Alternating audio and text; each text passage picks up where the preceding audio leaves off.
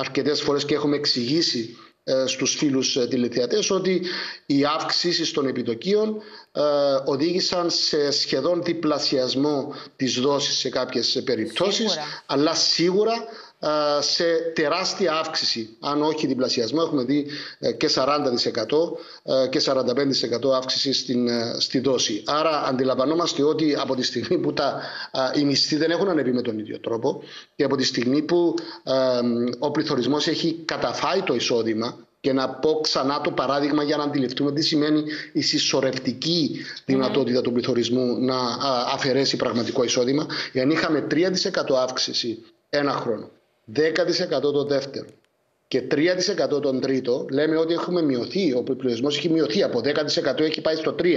Αλλά αυτά τα τρία χρόνια έχει ανεβεί κατά 17% ο πληθωρισμός. Άρα ένα πράγμα το οποίο άξιζε 100 θα είναι 117. Άρα δεν μπορούμε απλά να λέμε έχει μειωθεί ο πληθωρισμός. Όλες αυ αυτές οι αυξήσεις έχουν πια προσθεθεί στο κόστος απόκτησης αγαθών και υπηρεσιών. Άρα αυτό έχει ε, μειώσει κατά πολύ το διαθέσιμο εισόδημα του κάθε νοικοκυριού. Και αυτό είναι λογικό να επηρεάσει, ε, επηρεάσει την ικανότητα προσάψης νέου δανείου αλλά και αποπληρωμής των υφιστάμενων δανείων. Γι' αυτό όλα αυτά τα σχέδια που πολύ σωστά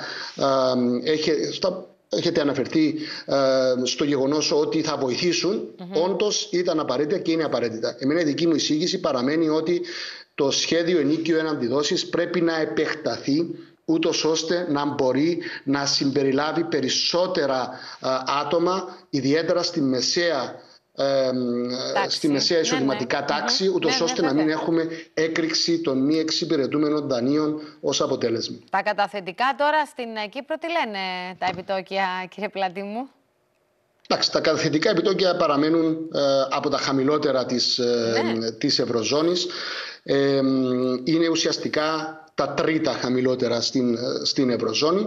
Αλλά, επαναλαμβάνω, αυτό εμένα δεν με απασχολεί. Ε, θετικά επιτόκια παίρνουν όσοι έχουν σημαντικές καταθέσεις. Αλλιώς ε, μιλάμε για πολύ χαμηλά ποσά, μιλάμε για περίπου 2%.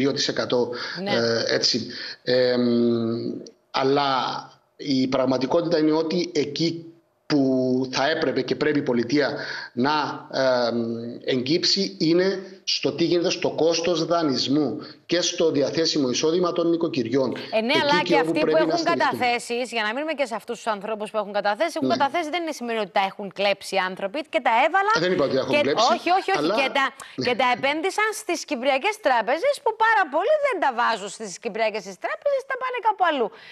Άρχισαν και το κάναμε μαζί και θέμα ότι άρχισαν και τρώνε από τις καταθέσεις μαζί. Δεν το λέγαμε και πριν ναι, να ναι, κλείσει ο, ναι. ο... Ότι ρε παιδί μου βλέπεις ότι και εκεί αρπάζουν από την μάνα να το πω. Σημαίνει κάτι. Σίγουρα, Σίγουρα, φυσικά και σημαίνει κάτι και σημαίνει ότι ε, ε, επιβιώνει ουσιαστικά αυτό το οποίο έχουμε πει ότι ε, κατατρώει το διαθέσιμο εισόδημα ε, η συσσωρευτική δυνατότητα ή χαρακτηριστικό του πληθωρισμού. Αλλά την ίδια στιγμή, αγαπητή μου Κατερίνα, δεν, δεν θέλω επουδενή να σκεφτούμε πώς θα κάνουμε κοινωνική πολιτική για όσους έχουν χρήματα στις τράπεζες. Αντιληπτό, βεβαίως, δεν το συζητώ. Δεν μπορούμε να τα βάλουμε όμοια το ναι. λιγότερο ναι. μας πρόβλημα. Ναι, ναι, το πρόβλημα είναι ο κόσμος ο οποίος δεν έχει αυτό το κομπόδεμα στις τράπεζες. Και εδώ έγκυται η σύγχρονη δημοσιονομική πολιτική που είναι ακριβώς ότι πρέπει να στηρίζεται η κοινωνία και τα μέλη της κοινωνίας που έχουν πρόβλημα εν καιρό κρίσης. Και ζούμε ε, δυστυχώς καιρούς κρίσης. Τα νέα προβλήματα στην εφοδιαστική αλυσίδα, άκουγα και προηγουμένως τον κύριο ε, Ντρουσιώτη, σίγουρα δεν δικαιολογούν αύξηση σήμερα γιατί δεν έχουν ακόμη παραλάβει τα εμπορεύματα τα ε, οποία επηρεάζονται. Να τα ακούνε κάποιοι αλλά... αυτά, να τα ακούνε, ναι. να τα ακούνε. Να τα ακούνε, να τα ακούνε. Ναι, Γιατί ναι. δεν μπορούν να κρυφτούν από κάποιους αλλά όχι από, από, ε, από αυτούς οι οποίοι παρακολουθούν τα πράγματα. Έτσι. Ε, την ίδια στιγμή όμως θα επηρεάσει αυτό το πρόβλημα στην εφοδιαστική αλυσίδα και θα έχουμε ε, αυξήσεις ε, στην, ε, στον πληθωρισμό εάν και εφόσον δεν επηρεαστεί γενικότερα η οικονομία ούτως ώστε να χαμηλώσει ταχύτητες και αυτό να λειτουργήσει αντιπληθωριστικά. Να το εξηγήσω ναι. για να το, για το κάνω πιο λιανό. Να το καταλάβω εγώ. Ναι, όταν, πείτε. όταν έχουμε αυξήσεις, Ναι. όταν έχουμε αυξήσεις, παραδείγματος χάρη στην τιμή του πετρελαίου, Ναι. αυτό σημαίνει ότι κάποιοι θα μειώσουν τη ζήτηση στο Μάλιστα. πετρέλαιο, γιατί λόγω της αύξησης θα μειωθεί και η οικονομική δραστηριότητα. Αυτό λειτουργεί ως ένα αντισταθμιστικό μέτρο, αν θέλετε, στην αύξηση του πληθωρισμού και άρα ο πληθωρισμός δεν ανεβαίνει τόσο γρήγορα. Μάλιστα. Χαμηλώνει η δυνατότητα της οικονομίας να αναπτυχθεί. Και αυτό μειώνει τη ζήτηση στις τιμές. Και όταν μειωθούν οι ζήτηση στις τιμές, αντιλαμβάνεστε ότι πέφτουν οι τιμές προς τα κάτω. Η ζήτηση στα αγαθά, άρα πέφτουν οι τιμές προς τα κάτω. Άρα, εκεί που ανεβαίνει πάρα πολύ γρήγορα ο πληθωρισμός, βλέπουμε ότι μειώνεται η οικονομική δραστηριότητα. Γι' αυτό τον λόγο, παραδείγματος χάρη, έχουμε δει και μείωση της οικονομικής δραστηριότητας μαζί με την αύξηση των επιτοκίων.